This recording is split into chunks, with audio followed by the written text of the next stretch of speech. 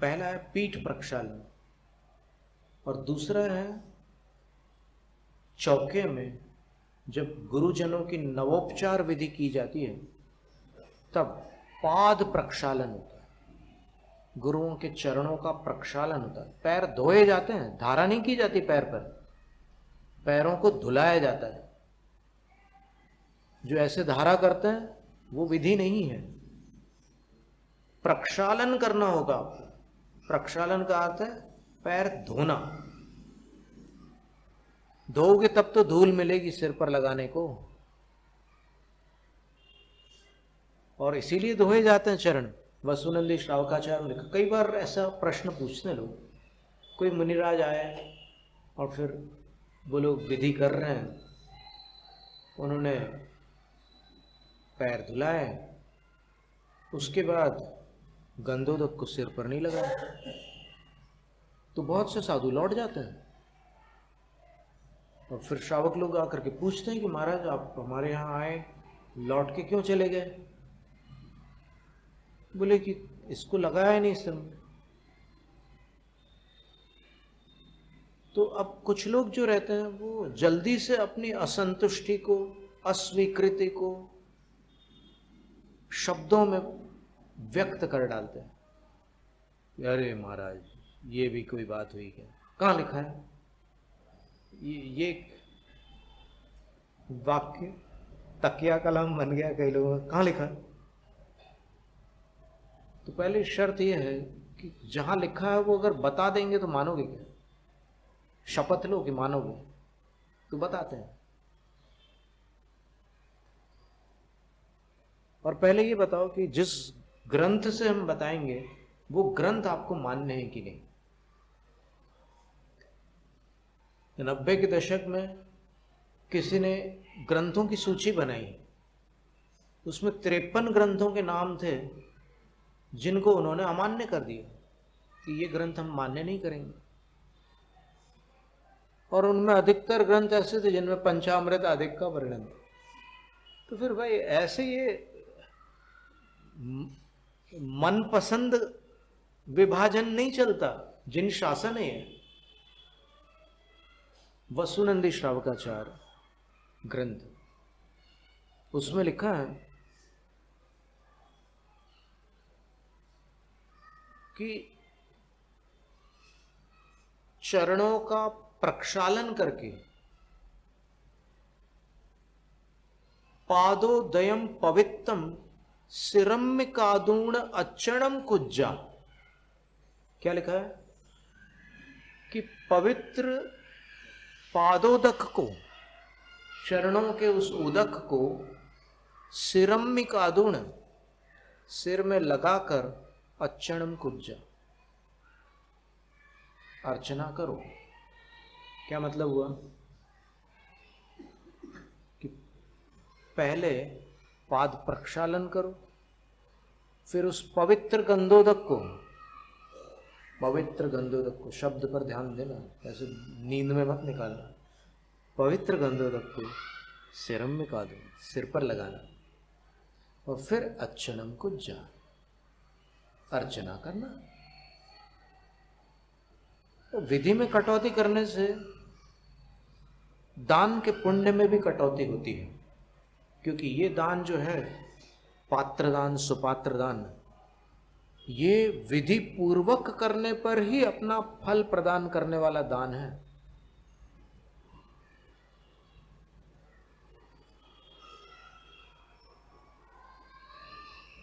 पड़गाहन हो रहा है और आधे लोग चौके में व्यस्त है कुछ दूसरे काम में। अरे भाई, ठीक है। चौके को खाली नहीं छोड़ना, ये उचित है। लेकिन पड़गाहन देखो तो सही आप। कम से कम अनुमोदना से तो कर लो। तो वो भी क्रिया मानी जाएगी। अगर आप मन वचन काय से नहीं कर पा रहे तो मन से तो करो। आप कहोगे कि नहीं, हमारी अनुमोदना है, अभी हम दूसरे काम में लगे हैं। ऐसे नहीं है। आप वहाँ मन लगा करके कितना समय लगेगा? बहुत ज़्यादा समय लगता है क्या? तो उसमें सम्मिलित हो जाओ। पड़गान के बाद उच्चासन है। अब चौके में कितने लोग बोलते हैं कि हे गुरुवर उच्चासन पर विराजमान हुई है कुछ लोगों को तो याद ही नहीं रहता कि ऐसा भी बोलना पड़ता है। वो अंदर जा करके तुरंत हाथ वाथ धो करके कुछ और तैयारियों में मग्न हो जाते हैं। और वो खड़े हुए हैं गुरु महाराज।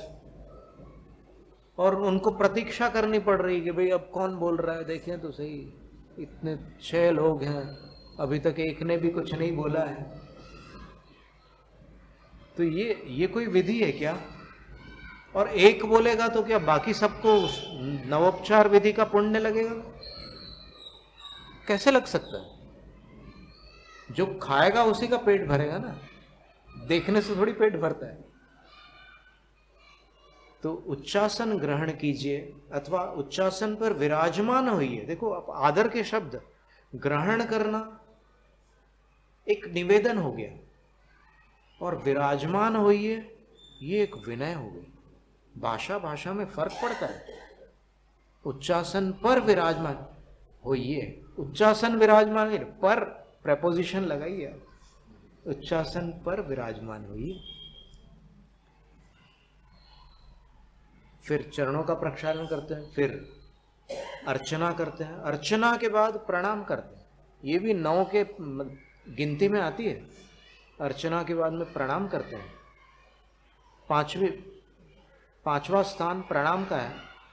चौथा स्थान अर्चना का है। तीसरा स्थान पाद प्रक्षालन का है। दूसरा स्थान उच्चासन का है। पहला स्थान प्रतिग्रहण का है। फिर अंत के जो चार हैं, वो चार शुद्धियाँ हैं। मन शुद्धि वचस शुद्धि, काय शुद्धि और ऐषणा शुद्धि। शास्त्र में ऐषणा शुद्धि लिखा, पर अभी अब बोलते बोलते वो आहार जल शुद्धि में रूपांतरित हो गया है वो, सरल शब्दों की अपेक्षा से। तो उस ऐषणा शुद्धि में अपनी पूरी शुद्धि आ जाती है। जो दातार है, उसकी पूरी शारीरिक शुद्धि आदि सब ऐषणा शुद्धि में सम्मिलित होती है और भोजन की भी सारी शुद्धि उसके अंतर हम आपको जो आहार दे रहे हैं, वो आगम के अनुकूल है, ये उसका अभिप्राय होगा। इसमें चौदह मल नहीं है, इसमें और भी अनेक प्रकार के जो दोष बताए हैं, भोजन संबंधी, वो दोष नहीं है। ऐसा भोजन हम आपको दे रहे हैं तो वो हमारी ऐषणा शुद्धि है। और हमने शुद्धता पूर्वक बनाया हुआ है। हमने शुद्ध वस्त्र भी धारण किए हैं, शारीरिक शुद्धि नौ द्वारों को शुद्ध किया है, और ये धर्मानुष्ठान के लिए, मातृवर्ग के लिए जानकारी की बात है। और पुरुष वर्ग भी जो पहले राजा महाराजा, राजकुमार बड़े बड़े बाल रखते थे, बड़े केश वालों के लिए एक महत्व की जानकारी है। उपासकाध्ययन ग्रंथ में सोमदेव सूर्य आचार्य महाराज ने लिखा है कि ये जो जिनेन्द्र भगवान का अभिषेक होता है, पूजा होती है, उसके लिए स्नान के पाँच भेद हैं। और पाँच भेद में से जो शिर स्नान और ग्रीवा स्नान है, अगर आपने शिर से स्नान किया है तो आप अभिषेक कर सकते हैं और पूजा कर सकते हैं। और साधु को आहार दान दे सकते हैं। अगर आपने ग्रीवा से अर्थात गर्दन से स्नान किया है तो भी आप अभिषेक कर सकते हैं, पूजा कर सकते हैं और आहार दान दे सकते हैं। लेकिन उसके बाद के जो तीन स्थान हैं, वो नहीं चलते। वो स्नान स्नान के अंतर्गत तो गिने जाते हैं, लेकिन उन स्नानों के साथ आप ये क्रियाएँ नहीं कर सकते। यशस तिलक चंपू में ये वर्णन आता फिर एक प्रश्न आता देखो आज तर्क का जमाना है। बार बार जरा जरा से हमें प्रश्न उठते हैं। अरे महाराज, स्नान नहीं करते तो हमें स्नान करना ज़रूरी है क्या? अरे भाई, स्नान के तीन भेद है। वैसे देखो तो। फिर जल स्नान के पाँच भेद है। शिर स्नान, कंठ स्नान, फिर और भी नीचे वाले स्नान भी होते हैं। तो मूल में स्नान के जो तीन भेद है, वो है व्रत स्नान, मंत्र स्नान और जल स्नान। तो जो गुरुजन है, वो व्रत और मंत्र स्नान से पवित्र है। तो आप कहोगे कि हम नहीं हो सकते क्या? ले लो, हो जाओगे, दीक्षा ले लो। अब भाई हो जाओगे उसमें कौन सी बड़ी बात जय नम जय शासन